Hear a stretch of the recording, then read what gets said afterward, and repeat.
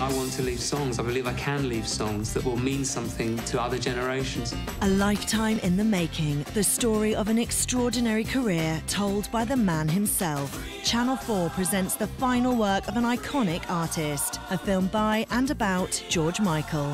Freedom, coming soon.